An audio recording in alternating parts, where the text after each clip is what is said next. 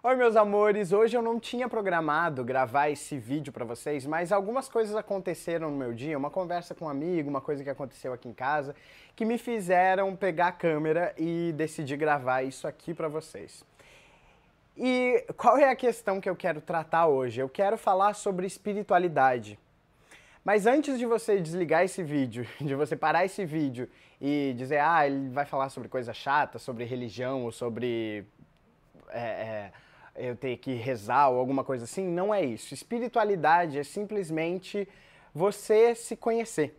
E você conhecer como o universo funciona, como as coisas funcionam aqui nesse mundo onde a gente vive. Isso é ser uma pessoa espiritualizada. É saber que você não é só essa energia física, esse corpo físico, essa que não existe só a matéria, que não existe só isso aqui que você consegue ver, que você consegue cheirar. Não, tem muito mais por trás disso. Então, saber disso e entender isso é você ser espiritualizado. Uh, então, algumas coisas aconteceram hoje que me fizeram questionar o por que, que a gente não nasce sabendo disso? Por que, que a gente não é, não vem com um manual de instruções dizendo, olha só, você não é só esse corpo físico, não, tem muito mais que você não consegue ver. Mas a gente não nasce com esses ensinamentos. Poucos sortudos nascem já com pais que ensinam esse tipo de coisa, mas não é todo mundo, não é a maioria. Eu aprendi na minha vida a ser uma pessoa espiritualizada. Isso não significa que eu tô livre de problemas não significa que eu não vou ter mais coisas para me incomodar. Não, não é isso. Mas eu acho que quando você se conhece, quando você sabe como o universo funciona, eu acho que quando você sabe as regras do jogo, fica mais fácil jogar. Então, se você tem um problema e você é uma pessoa espiritualizada, você tem práticas no seu dia a dia que você se conecta com você mesmo e você se conecta com essa força maior do universo, que você pode chamar de Deus ou de, de, de anjo da guarda, o que você quiser chamar, uh, quando você se conecta com tudo isso, você resolve as coisas mais fácil. Você tem mais clareza de como você pode uh, resolver isso aqui, ou, ou, ou ter aquilo lá, ou se tornar isso aqui. Então, quando você se dedica para você mesmo, para o seu autoconhecimento. E quando você se dedica a saber como é que o universo funciona, para você poder usar tudo isso ao seu favor e criar melhor, a melhor vida que você puder, tim, você é espiritualizado. Então, por que que as pessoas uh, insistem em usar somente. Gente, eu tô com calor aqui, tá? Mas vou continuar o vídeo. É... Por que, que as pessoas insistem em usar somente a cabeça, o cabeção, para resolver os problemas? Não adianta. Se você usar simplesmente a sua cabeça, o seu lado racional, você não vai conseguir resolver as coisas do mundo. A sua vida não vai ser a melhor vida que pode ser se você só usar o cabeção para resolver tudo. Não é, tem um outro lado, tem uma energia não física que você não consegue ver, que você não consegue acessar pensando. Que você tem que reservar um tempo para você no seu dia a dia, para você se conectar com essa força maior. Se conectar com essa energia não física, muito maior do que esse corpo físico que você é. Por isso eu insisto na meditação. A meditação é uma ferramenta maravilhosa para você entrar em contato com essa energia não física, com esse poder do todo, do universo inteiro. Aí você ganha clareza. Aí você é criativo, aí você é intuitivo. É quando você se conecta com você e automaticamente você se conecta com o todo. Não adianta. Você não vai resolver os seus problemas só aqui. Você não vai resolver é, os seus problemas de uma maneira somente prática, não. Você até pode resolver, mas vai ser muito mais sofrido, vai levar muito mais tempo, vai tomar muita mais, muito mais resistência. Você vai uh, uh, se vê resolvendo problemas com um peso nas suas costas. E não é isso que você quer. Você não quer viver a sua vida desse jeito. Você quer viver uma vida prazerosa, uma vida leve, uma vida alegre. Você quer intuir como solucionar as coisas que você quer solucionar. Então não adianta você negar a sua parte não física, a sua parte espiritual, a sua parte energética, como você quiser chamar. Você não pode negar isso. Você tem que aceitar que você não é só essa energia física aqui. Você é muito mais que isso. E você precisa acessar essa energia não física. A gente tem dois lados do cérebro. Um é mais pensativo, racional, lógico, e o outro é mais sensitivo, é intuitivo. E a maioria, a maioria de nós só acessa esse lado racional, pensativo. Não é só isso. Tem um outro lado, tem um outro potencial do cérebro que a gente não usa. Então, isso precisa ser despertado, isso precisa ser usado. Você não precisa sofrer nessa vida. Você pode resolver as coisas com muito mais leveza. Então faz isso. A única coisa se apoia no seu lado espiritual. Se apoia no seu lado energético, se apoia no seu lado não físico. Como eu já falei, não importa o nome que você dá para isso, mas se apoia em uma outra coisa a não ser o seu racional. Claro que o racional precisa estar tá aí também, para a gente resolver as coisas mais objetivas, as coisas mais práticas do dia a dia, mas não é só isso. Tem um outro lado. Então reserve esse tempo precioso para você se conectar com você mesmo. 10, 15 minutinhos por dia já faz a diferença.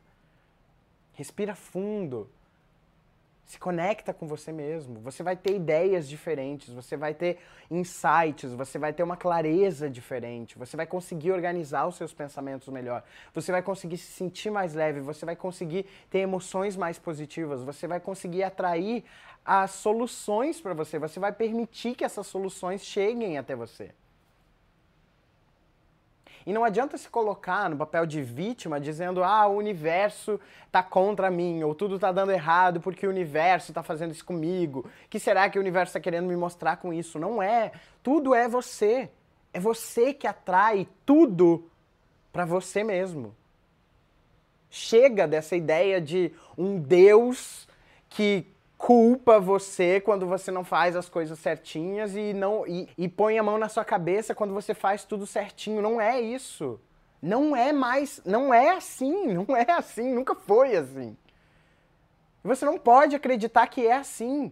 Que tem um Deus te castigando quando você não faz as coisas do jeito que ele quer. Não é assim. Não se coloca nessa posição de coitadinho de mim. Chega. Não dá mais.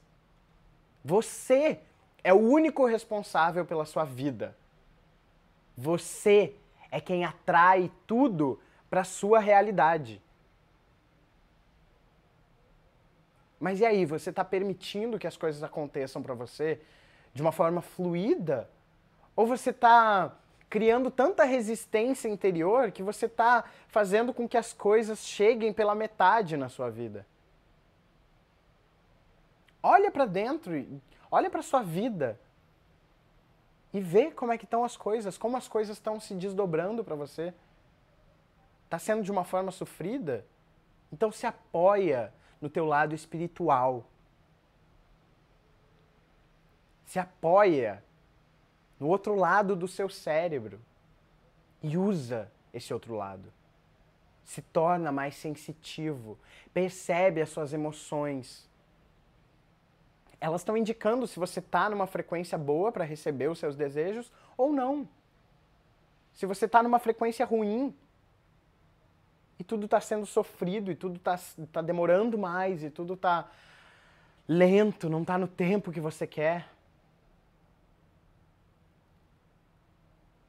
Esse vídeo aqui é para você refletir sobre o quanto você está acessando esse seu lado espiritual, energético, ou não. Então reflete sobre isso.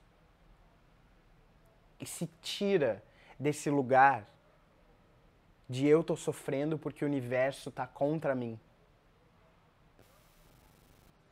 Se tira desse lugar. Isso não é você. Você não é assim.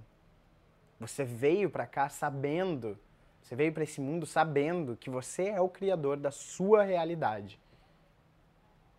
Então cria com leveza. Sem força. Não é necessário força. Se você está fazendo força, é porque você não está na, na vibração certa para permitir o seu desejo chegar. Se você está fazendo força, é porque você está em, desal... em desalinhamento com o seu desejo. Você não está alinhado com o seu desejo. Porque quando você está alinhado com o seu desejo, você não precisa fazer força. O universo simplesmente começa a orquestrar tudo para você receber da melhor forma, com leveza. Você sabe essa sensação. Você já recebeu algumas coisas com leveza. De uma forma fluida. De uma forma abundante, generosa, alegre. E é isso que você veio para ter. Você não veio para fazer força, para ser sofrido, para ser uma guerra conseguir o que você quer. Não. Mas para isso, você precisa entrar em contato com o teu eu maior, com essa energia não física que eu estou falando aqui. Você é muito mais do que só o seu corpo físico, do que só a matéria. Você é muito mais que isso. Porque quando você só usa a cabeça, o racional, o lógico, é necessário força. É necessário força. Quando você usa só o seu lado racional. Porque se você tem um grande desejo, você acha que você só vai realizar aquele desejo se você fizer muita força, se for muito sofrido. Mas se você se apoiar na sua espiritualidade, você vai ver. Eu posso garantir que você não vai precisar fazer tanta força. Vai ser um mínimo esforço porque a ação vai ser intuída, vai ser inspirada, ao invés de ser uma ação racionalizada e não vai funcionar. Então ativa a sua intuição. Medita, Toma um tempo para você, respira fundo, acha esse tempo para você, para de dar desculpas de que você não tem tempo para você. Você tem sim, faz o tempo para você. Isso é o mais importante do seu dia. É você fazer o seu tempo para você e fazer coisas que te dão prazer com você mesmo. Vai ler um livro, vai escutar uma música, vai uh, pintar alguma coisa, vai uh, cantar, vai cozinhar um prato que você gosta, enfim, tem tantas coisas. Vai dar um mergulho, vai ver um pôr do sol, faz coisas que você gosta no seu dia a dia, para entrar mais em contato com você, com essa sua energia maior. Volta a ser criança, pelo menos por cinco minutos no seu dia. E para de ser um adulto sério, chato. Não precisa. Não se leva tão a sério. Dá risada dos seus problemas. Sorri. Que isso vai te colocar mais em contato com tudo isso que você é. Ok? Espero que essa mensagem tenha chegado para você no momento onde você estava precisando ouvir exatamente isso. Eu espero que vocês tenham gostado. Agora, entre em contato com você mesmo. Para sua vida melhorar. Porque você pode fazer a sua vida melhor. Você cria a sua vida do jeito que você quer. Você cria a sua felicidade, você cria a sua alegria, você cria o seu bem-estar. É isso. Agora é só trabalhar o seu lado maior, seu lado espiritual. Então, vai lá. Vai lá se conhecer e vai lá conhecer como é que o universo trabalha, ok? Vai meditar. Beijo. Tchau.